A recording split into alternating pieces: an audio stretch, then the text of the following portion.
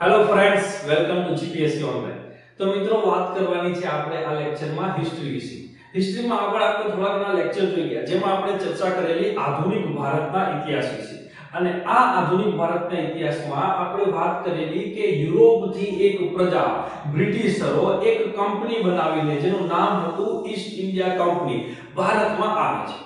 અને ભારતમાં આવીને પોતાનું સામ્રાજ્ય ફેલાવવાની શરૂઆત કરે છે અને ધીમે ધીમે ધીમે આખા ભારતને પોતાના શાસન હેઠળ લઈ લે છે.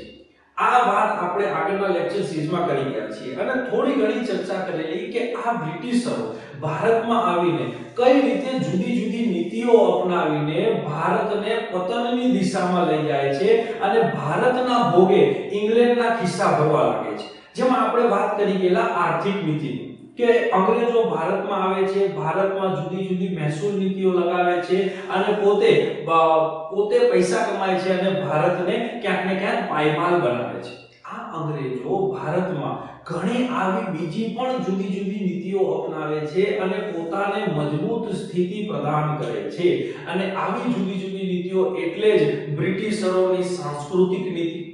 અથવા બ્રિટિશરોની વહીવટી નીતિ, બ્રિટિશરોની ન્યાયિક ક્ષેત્રે કઈ કઈ નીતિઓ હતી, આ બધી જ પોલિસી આપણે ભણવાની છે બ્રિટિશ શાસન અંતર્ગત. પરંતુ એ પહેલા સૌથી અગત્યની જે બાબત છે એ છે બ્રિટિશરોની સામ્રાજ્યવાદી નીતિ. યસ બ્રિટિશરોની સામ્રાજ્યવાદી નીતિ એટલે શું? તો કે આ અંગ્રેજો ભારતમાં કઈ કઈ પોલિસી વડે ભારતમાં પોતાનું શાસન ફેલાવે છે અને પોતે મજબૂત સ્થિતિ મેળવે છે એ જ નીતિ એટલે બ્રિટિશરોની સામ્રાજ્યવાદી નીતિ જેમાં મુખ્યત્વે આપણે જાણીએ છીએ એમ બે પોલિસી અથવા તો બે નીતિનો સમાવેશ થાય છે. એક છે સહાયકારી નીતિ અને સેકન્ડ છે ખાલસા નીતિ થોડી ઘણી માહિતી આપણને ખ્યાલ જ છે આ નીતિઓ વિશે.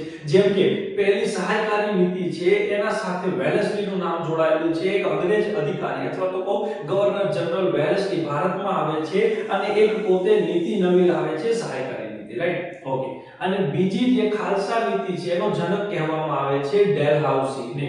આ બંને નીતિઓ આપણે એકદમ ડિટેલમાં સ્ટડી કરવાની છે. પહેલા આ લેક્ચરમાં વાત કરી આપણે સહાયકારી નીતિ વિશે. ઓકે અહીંથી એક લેક્ચરની શરૂઆત કરીએ, સહાયકારી નીતિ.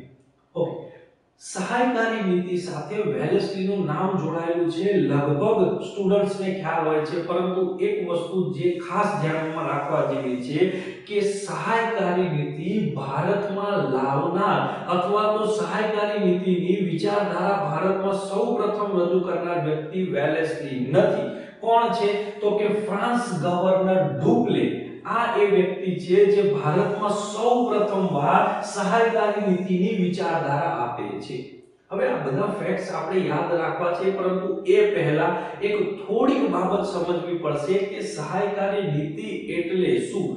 શું છે આ પોલિસી તો એક સિમ્પલ લેંગ્વેજમાં તમને સમજાવી કે 1800 ની આસપાસની આ સાલ છે અને આ સાલમાં, આ સમયગાળામાં મેજોરિટી ભારતના રાજાઓ અને એમની સેનાઓ કેવી છે? તો કે તલવાર, ભાલા, ઢાલ, આ બધા શસ્ત્રો વડે પોતે સેનાનું નિર્માણ કરેલું છે ભારતના રાજાઓ. પરંતુ આ જ સમયગાળામાં ભારતમાં આ રાજાઓ સિવાય યુરોપિયન પ્રજાઓ પણ પોતાની સેના સાથે હાજર છે. અને આ યુરોપિયન પ્રજાની સેનામાં જે સૈનિકો છે, ક્યાંક ને ક્યાંક બંદૂક, તોપ અને આવા આધુનિક શસ્ત્રો વાપરે છે. અને એટલે ભારતના રાજાઓને ક્યાંક ને ક્યાંક મનમાં લાલચ જાગે છે કે જો આ યુરોપિયન સેના એના પક્ષમાં લડે અથવા તો એના વતી લડે, તો પોતે ભારતમાં એક મજબૂત સ્થિતિ અથવા તો મજબૂત શાસન મેળવી શકશે. અને એટલે જ ક્યાંક ને ક્યાંક ભારતીય રાજાઓ અથવા ભારતીય શાસકો ઇંગ્લેન્ડ અથવા તો ફ્રાન્સથી આવેલી યુરોપિયન પ્રજાઓ સાથે મિત્રતા કરવાની શરૂઆત કરે છે. અને આ જ વસ્તુ, આ જ પરિસ્થિતિનો લાભ સૌપ્રથમ ઉઠાવવાનો વિચાર કરે છે કોણ? ફ્રાન્સ. કઈ રીતે લાભ ઉઠાવવાનો વિચાર કરે છે તો સમજીએ. ફ્રાન્સ ગવર્નર ડુપ્લેને સૌ પ્રથમવાર એવો આઈડિયા આવે છે કે ભારતીય રાજાઓને પોતાની સેનાની જરૂર છે. તો મફત શું આપવી એના બદલે કેમ એના પાસેથી સારી એવી મોટી રકમ ન મેળવી લેવાય? અને એટલે જ ડુપ્લે સૌ પ્રથમવાર એક સહાયકારી નીતિનો વિચાર કરે છે. ભારતના રાજા પાસે જાય છે, ભારતના શાસકો પાસે જાય છે અને એમના પાસે એક પ્રસ્તાવ મૂકે છે કે ભાઈ, અમે અમારી સેનાને તમારા વતી લડાવીશું. પરંતુ એના બદલામાં તમારે અમને એક મોટી રકમ આપવી પડશે અને પૈસા આપવા પડશે. અને આ જ જે નીતિ છે એને કહેવાય છે સહાયકારી નીતિ. મતલબ કે સેનાની મદદના બદલામાં પૈસા મેળવવા એ જ હતું સહાયકારી નીતિનું એક પ્રમુખ અથવા મુખ્ય ધ્યેય. રાઈટ ઓકે તો આ એક ફેક્ટ આપણે યાદ રાખીશું કે સૌપ્રથમ સહાયકારી નીતિની વિચારધારા લાવનાર વ્યક્તિ છે ફ્રાન્સ ગવર્નર ડુપ્લે આગળ જોઈએ કે અને અંગ્રેજો સાથે થોડુંક લિંક કરીએ. અંગ્રેજો દ્વારા સૌ પ્રથમવાર સહાયકારી નીતિ જેવી જ એક બાબત જાણવા મળે છે અવધના સંદર્ભમાં. યસ મિત્રો, આપણે એક લેક્ચર જોઈ ગયા છીએ હિસ્ટ્રીમાં જ જેનું નામ હતું બંગાળ સામ્રાજ્ય. અને આ બંગાળ સામ્રાજ્યના લેક્ચરમાં આપણે એક યુદ્ધ વિશે ભણી ગયા હતા, જેનું નામ હતું બક્સરનું યુદ્ધ.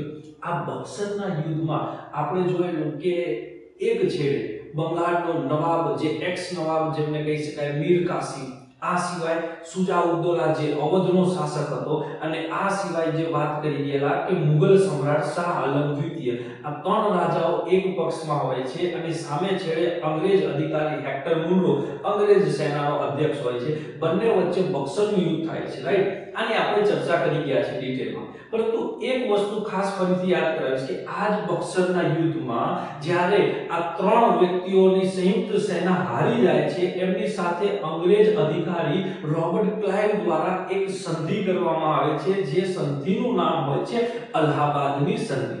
અને આ જ અલ્હાબાદની સંધિમાં એક જોગવાઈ એવી હોય છે કે અવધનો શાસક, જે હતો સુજાઉદ્દૌલા એને પાસેથી બહુ મોટી રકમ અંગ્રેજો ખરીદે, મેળવે છે. પચાસ લાખથી પણ કંઈક વધારે રૂપિયા અવધ પાસેથી મેળવે છે અને બદલામાં એને આશ્વાસન આપે છે કે, ભાઈ, અમે તારી મદદ કરીશું. જ્યારે બી તને જરૂર પડશે સૈન્યની, અમે તારી રક્ષણે ઊભા રહીશું. તો આપણે સો ટકા કહી શકીએ કે ક્યાંક ને ક્યાંક અંગ્રેજો દ્વારા અવધના સંદર્ભમાં સૌ પ્રથમ વાર આની સહાયકારી નીતિની જોગવાઈ કરવામાં આવેલી છે. પરંતુ આમ છતાં મોટા ભાગના ઇતિહાસકારો માને છે કે ભાઈ સૈદ્ધાંતિક અને વિસ્તૃત વ્યાખ્યા. જો કોઈ સહાયકારી નીતિની આપેલી હોય, તો એ છે લોર્ડ વેલેસ્લી આ લોર્ડ વેલેસ્લી દ્વારા જ એકદમ પ્યોર ફોર્મમાં સહાયકારી નીતિ લાવવામાં આવી અને એનો ખૂબ જ મોટા પાયે ફેલાવો કરવામાં આવેલો છે. એટલે સો ટકા જો ક્લાસ ડી લેવલની એક્ઝામમાં ક્યાંક ને ક્યાંક પ્રશ્ન પૂછાય કે સહાયકારી નીતિ સાથે કોણ જોડાયેલું છે? અથવા તો એનો જનક કોણ છે? અથવા કયો અંગ્રેજ અધિકારી સહાયકારી નીતિ ભારતમાં લઈને આવેલો? તો આપણે યાદ રાખીશું વેલેસલી આ અંગ્રેજ અધિકારી છે. પરંતુ પૂછે કે ભાઈ સૌ પ્રથમ કોણ છે અથવા ફ્રાન્સ અધિકારી કોણ છે? તો ફ્રાન્સ ગવર્નર ડુપ્લે રાઈટ તો આ બે ત્રણ ફેક્ટ્સ આપણે સહાયકારી નીતિ વિશે જાણવાના છે. હવે થોડુંક ડિટેલમાં જઈએ કે સહાયકારી નીતિ વિશે કે ભાઈ બરાબર છે, આ લોકો લઈને આવેલા એટલે બરાબર છે. પણ હતું શું એની અંદર? સહાયકારી નીતિની અંદર જોગવાઈઓ કઈ કઈ હતી? એના વિશે થોડી ચર્ચા કરીએ. તો કે સૌ પ્રથમ જોગવાઈ હતી કે જે બી રાજ્ય અથવા તો કહું જે બી રાજા આ સહાયકારી નીતિ સ્વીકારશે અથવા અંગ્રેજ અધિકારી સાથે સહાયકારી નીતિ બાબતમાં સંધિ કરશે એ રાજા પોતાની સેના રાખી શકશે નહીં અને પોતાની સેનાના બદલામાં અંગ્રેજો એને શું કરશે? બ્રિટિશ સેના આપશે. અને બ્રિટિશ સેના એ રાજ્યમાં રહીને રાજાનું રક્ષણ કરશે, રાજ્યનું રક્ષણ કરશે. તો સૌથી એક અગત્યની અને સૌથી કોમન જે જોગવાઈ હતી સહાયકારી નીતિમાં ફર્સ્ટ એ કે રાજા પોતાનું સૈન્ય રાખી નહીં શકે. પોતાનું સૈન્ય એને શું કરવું પડશે? બરખાસ્ત કરી દેવું પડશે, છૂટું કરી દેવું પડશે અને અંગ્રેજ સૈન્યને જ પોતાના રાજ્યમાં રાખશે. ઓકે બીજી શું જોગવાઈ હતી? કે બ્રિટિશ સેના રાજ્યની બાહ્ય અને આંતરિક બંને સુરક્ષા કરશે. જો રાજા ઉપર બહારથી કોઈક આક્રમણ થાય, તો બ્રિટિશ સેના એની સુરક્ષાની જવાબદારી લે છે. અને જો રાજ્યની અંદર બળવો પણ થાય, તો પણ આ બ્રિટિશ સેના રાજાની સુરક્ષાની જવાબદારી લેશે. ઓકે નેક્સ્ટ જો વાત કરીએ તો આ બ્રિટિશ સેના મફતમાં તો સેવા કરશે. આ બ્રિટિશ સેના જો રાજાની આટલી સારી સુરક્ષાની જવાબદારી લે છે, તો બદલામાં કંઈક મેળવવાની ભાવના છે. શું મેળવવાની ભાવના છે? બ્રિટિશ સેનાનો ખર્ચ ટોટલી દેશી રાજ્યોએ ચૂકવવાનો રહેશે. અંગ્રેજો પોતાની સેના ઉપર એક રૂપિયો ખર્ચો નહીં કરે, ટોટલી ખર્ચો એનો ડ્રેસનો હોય કે પછી શસ્ત્રોનો હોય કે પછી એના સૈન્યના ખોરાકનો હોય, બધો જ ખર્ચો કોણ કરશે? મેજોરિટી જે રાજા સહાયકારી નીતિ સ્વીકારશે એ રાજા ખર્ચો કરશે. ઓકે એનાથી એક સ્ટેપ આગળ જઈએ. જો દેશી રાજ્યની ટોટલી વિદેશ નીતિ છે જે આખે આખી વિદેશ નીતિ મતલબ કે રાજા, બીજા કોઈ રાજા ઉપર યુદ્ધ કરવાનું કે પછી એ રાજા ને બીજા કોઈ રાજા સાથે સંધિ કરવાનો પાવર અથવા એ રાજાને બીજા રાજા સાથે વ્યવહાર કરવાનો પાવર આ ટોટલી વિદેશ નીતિ કોના અંતર્ગત રહેશે? અંગ્રેજોના અંતર્ગત રહેશે. ઓકે આ પણ એક બાબત ખાસ અગત્યની છે કે રાજા સહાયકારી નીતિ સ્વીકારશે એટલે પોતાની આખી વિદેશ નીતિનું પોટલું આપી દેવાનું કોને? અંગ્રેજોને. યસ એના વિશે પછી પોતે કોઈ જ નિર્ણય લઈ શકશે નહીં. ઓકે એનાથી આગળ એક હજી આપણે જોવાઈ જોઈએ તો દેશી રાજ્યો અંગ્રેજની પરવાનગી વિના અન્ય યુરોપિયન પ્રજા અથવા તો અંગ્રેજના દુશ્મનને પોતાની સેવામાં રાખી શકશે નહીં. ઓકે આના વિશે ચર્ચા કરીએ. કે માની લ્યો કે આજે કોઈ એક રાજ્ય છે, મરાઠા સામ્રાજ્ય છે, એને સહાયકારી નીતિ સ્વીકાર લીધી, તો મરાઠા દરબારમાં કોઈ ફ્રાન્સ, પોર્ટુગલ, ડચ લોકો એ દરબારમાં હાજર રહી શકશે નહીં અથવા એના પાસે કોઈ પણ સેવા લેવામાં નહીં આવે. પ્લસમાં જઈને જો અંગ્રેજો જાહેર કરે કે મૈસૂર અમારું દુશ્મન છે, તો મૈસૂરના રાજા સાથે પણ વ્યવહાર કાપી નાખવાનો મરાઠા હોય. આવી એક જોગવાઈ પણ આ સહાયકારી નીતિમાં મૂકવામાં આવેલી. કે અન્ય કોઈ પણ યુરોપિયન પ્રજા અને અંગ્રેજ શત્રુથી રાજાએ પોતે વ્યવહાર કટ કરવો પડશે. ઓકે નેક્સ્ટ જઈએ કે સંધિ કરનાર રાજ્યમાં એક બ્રિટિશ પ્રતિનિધિ હંમેશા હાજર રહેશે.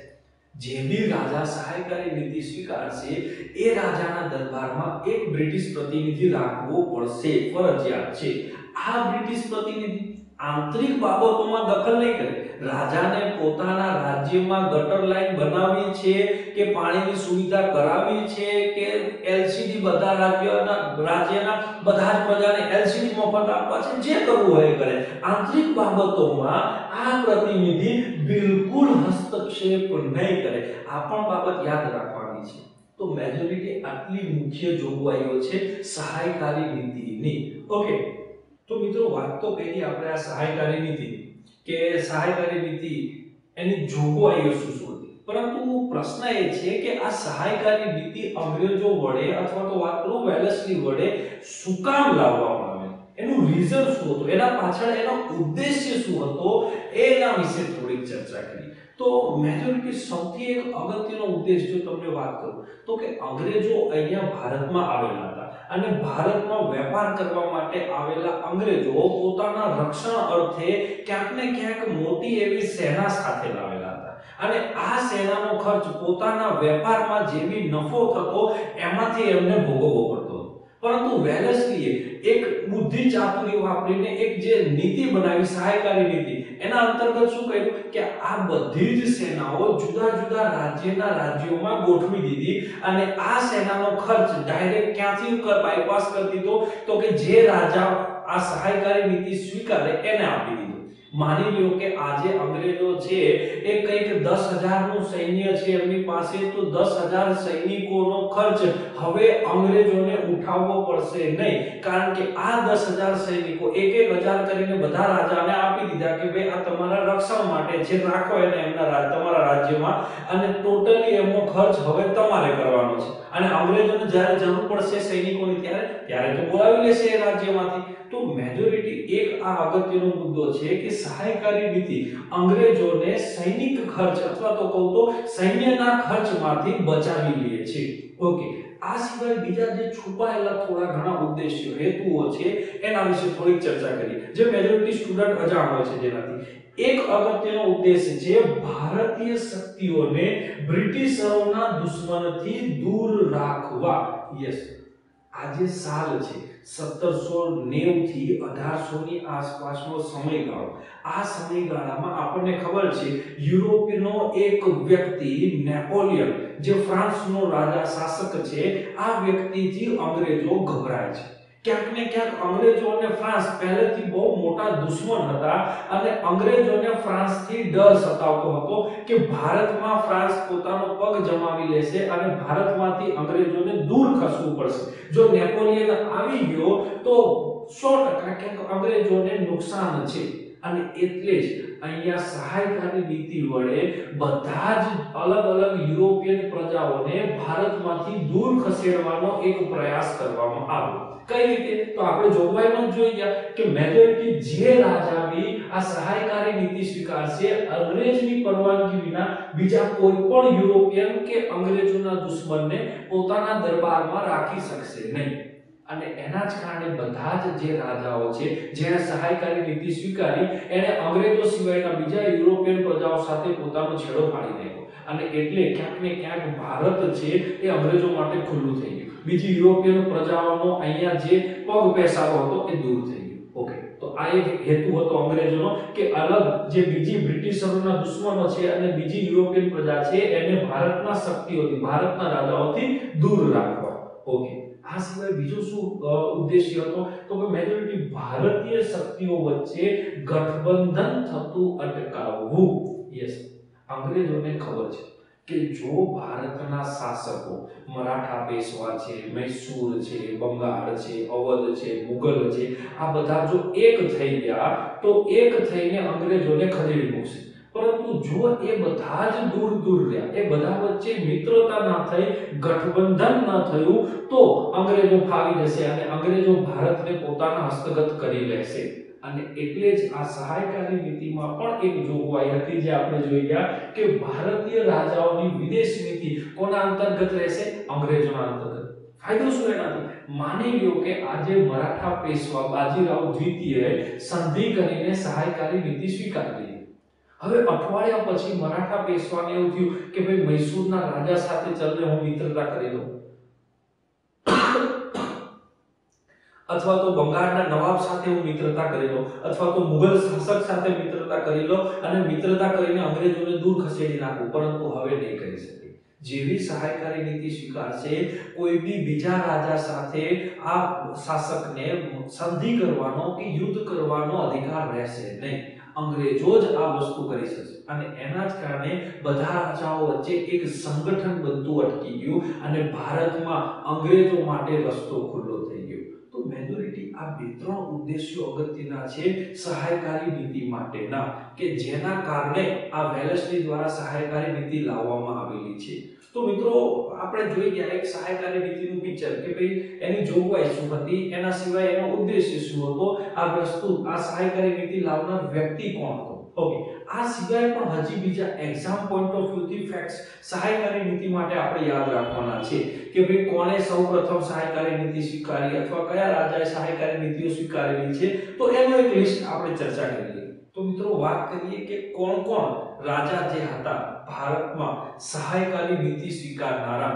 તો મેજોરિટી સૌ પ્રથમ જે વ્યક્તિ વેલેસ્લીની સહાયકારી નીતિ સ્વીકારે છે જે હૈદરાબાદનો નિઝામ. 1798 આવતા આવતા વેલેસ્લી દ્વારા જાહેર કરાયેલી આ સહાયકારી નીતિ ઉપર હૈદરાબાદનો નિઝામ સૌપ્રથમ પોતાની સંમતિ આપે છે.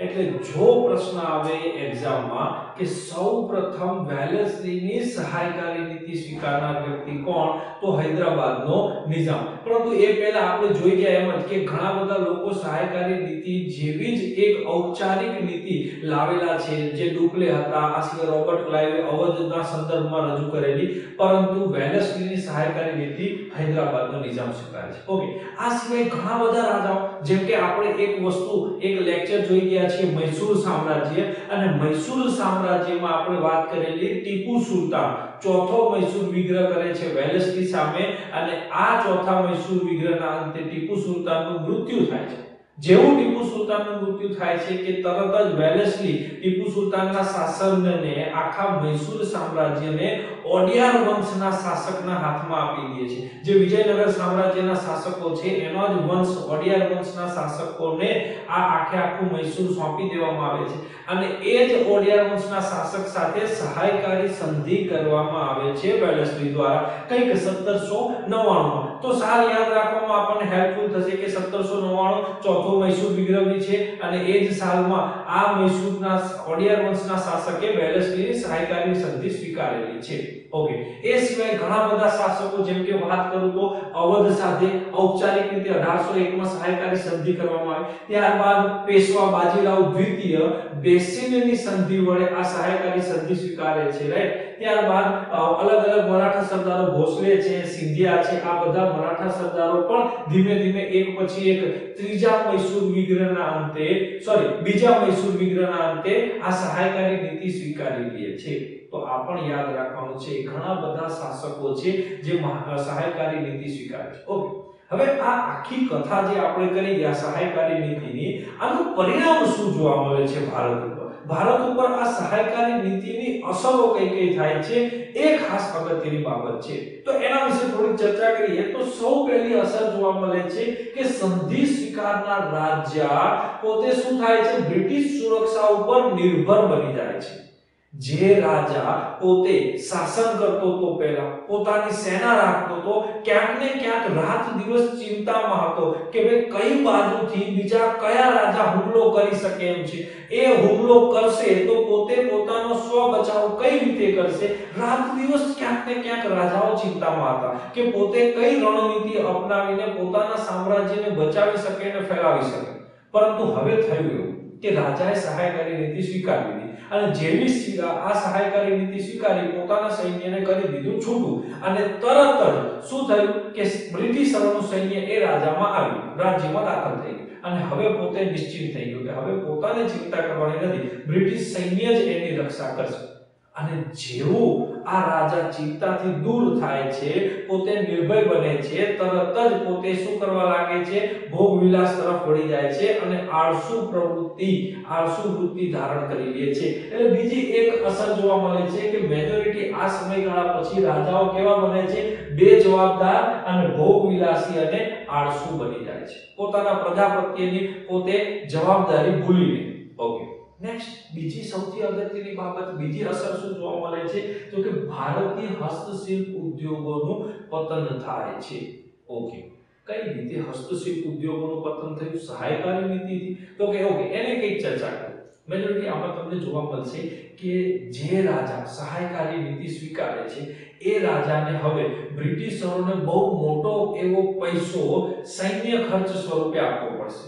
કેમ કે બ્રિટિશરો કંઈક ને કંઈક ડિમાન્ડ કરશે. કે ભાઈ અમારા સૈનિકો છે, અમારા સૈનિકોને દરરોજ સવારે બોર્નવિટા જોઈએ છે. અમારા સૈનિકોને આટલા હથિયાર જોઈશે અમારા સૈનિકોને આટલી રહેવા માટે સગવડ જોઈશે આવું ભોજન જોઈશે અને એના માટે સો સો કરોડ રૂપિયા તમારે આપવા પડશે. એટલે રાજાને ગમે તેમ કરીને પણ આ બ્રિટિશ સૈન્ય માટે પૈસા ભેગા કરવા પડતા અને એમને એટલા પૈસા આપવા પડતા. એની અસર શું થઈ? કે મેજોરિટી મોટા ભાગનો રાજા જે ટેક્સ ઉભરાવતા અથવા પૈસો ભેગો કરતો એ બધો જ બ્રિટિશરો લઈ જતા રાજા પાસે પૈસો વધતો નહીં. અને એના કારણે રાજાના રાજ્યમાં જે બી હસ્તશિલ્પ ઉદ્યોગો હતા એ ધીમે ધીમે ધીમે શું થવા લાગ્યા? પતન થવા લાગ્યા. સાદું ઉદાહરણ આપીને તમને સમજાવું. કે માની લ્યો કે એક ચિત્રકાર છે. પહેલાના સમયમાં રાજા પાસે પુષ્કળ પૈસો છે. ચિત્રકાર રાજાના દરબારમાં આવે છે. સારી એવું ચિત્રકામ કરીને રાજા સામે પ્રસ્તુત કરે છે. રાજા ખુશ થઈ જાય છે. રાજા શું કરશે? એક બે માળા કાઢીને આપી દેશે. સો, બસો સોનામરો આપી દેશે. પરંતુ હવે આ જ રાજા પાસે આ જ ચિત્રકાર ફરીથી આવે છે. સહાયકારી નીતિના બાદ. ચિત્રકાર ગમે એટલું સારું ચિત્ર બનાવીને રાજા સામે પેશ કરશે. રાજા શું કહેશે? કે ભાઈ બરાબર છે, ઠીક છે, સારું છે, પણ હજી થોડુંક સારું દોરીને ફરીથી આવજે જા.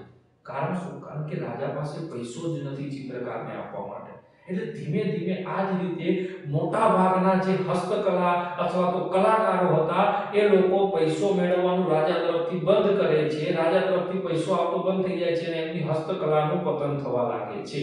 તો આ બી એક ખાસ અગત્યની બાબત છે કે સહાયકારી નીતિ રાજાનો પૈસો લૂંટી લે છે અને એના જ કારણે ભારતના રાજ્યોમાં અથવા તો ભારતના ગામડામાં જે નાના મોટા હસ્તકલાકારો હતા, નાના મોટા ઉદ્યોગો હતા એ બધા જ પડી માંગે છે. ઓકે આ સિવાય સૌથી મોટી એક અગત્યની જે સમસ્યા ઊભી થાય છે સહાયકારી નીતિના કારણે, જે મારું, હું એક ધ્યાન તમને દોરું છું મારા તરફથી, એ છે બેરોજગારી.